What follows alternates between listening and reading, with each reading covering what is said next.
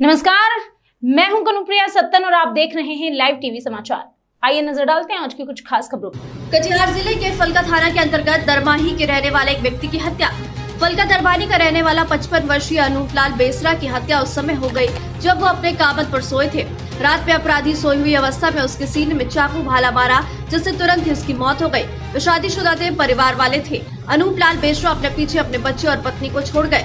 जब अनूप लाल के परिवार वालों ने अनूप लाल के मृत पाया तो उनके घर वालों ने फलका थाना में सूचित किया। घटना की सूचना मिलते ही तुरंत पुलिस प्रशासन घटना स्थल पर पहुँची और शव को अपने कब्जे में लिया। शव का पंचनामा करके पोस्टमार्टम के लिए कटिहार सदर अस्पताल भेजा गया।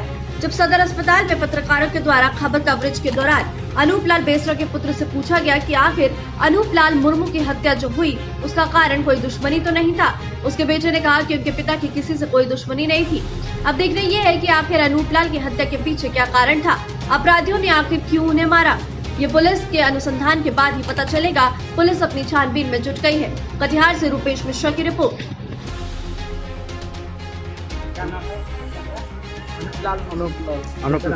अनुपलाल बेसरा। मेसरा बेसरा। बेसरा। अनुपलाल बेसरा कौन सा थाना पड़ता है? थाना फलका थाना फलका कितना उम्र होता होगा इसका? पचपन साल मोटा पचपन साल। क्या हुआ इसके साथ में? कोई भल्ला से कोई मार दिया जहाँ सोया हुआ था। और जहाँ सोया हुआ था वहाँ इसको भला से मार दिया है। अच्छा किस थाना से लाए इसको? फलका से। फलका थाना से। कितना नंबर वार्ड है घर का वार्ड नंबर दो में। वार्ड नंबर दो में।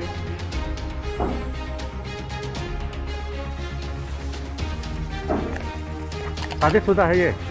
जी सर परिवार है पत्नी है परिवार पत्नी सब। बेटा सब। है? आया है यहाँ? हाँ ये भी है भाई है यहाँ।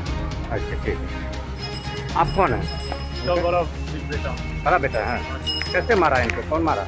कहने की कमत में सोया हुआ था एक रात में उसको चक्कू मार के चला गया चाकू मार दिया।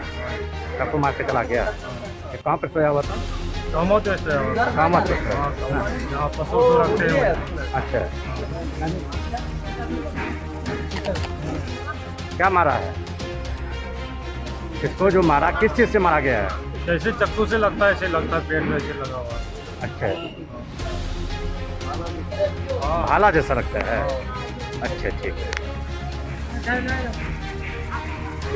अभी के लिए बस इतना ही, बाकी खबरों का सिलसिला लगातार रहेगा जारी। अगर आप रहना चाहते हैं हर वक्त अपडेटेड, देखते रहिए लाइव टीवी समाचार।